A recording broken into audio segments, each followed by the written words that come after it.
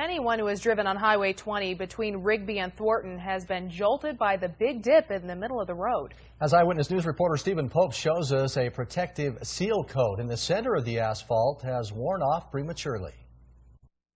We spent a lot of money to have that highway repaved, and when they put the seal coat on, they didn't do a good job. It didn't even last the first year. It was coming off before winter came. That's the frustration of Lewis Powell from St. Anthony. He drives his motorcycle on Highway 20 all the time. But with loose gravel and a rut in the middle, he's afraid to change lanes. A motorcycle uh, doesn't respond well. You can, you can feel it. It. It moves things around a little bit. Powell went to the Idaho Transportation Department for some answers. You can't get a firm answer on what they're going to do to repair it. So I tried my luck with some questions. The seal coating didn't stick on the highway. What are you guys going to do about it?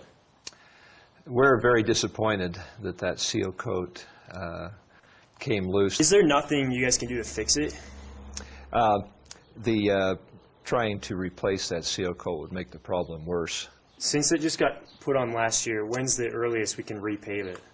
Well, it's not on the schedule to be resurfaced uh, at all. In case you're wondering what a seal coat is, it's liquid asphalt sprayed on the pavement with a layer of crushed rock on top of it. So if it breaks, you're left with loose gravel.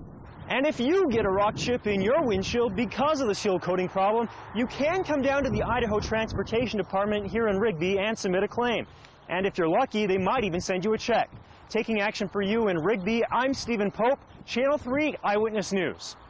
Uh, this news came to us from a concerned Channel 3 viewer. If you have a story idea that you would like to tell us about, call our Eyewitness News tip line at 523 8984.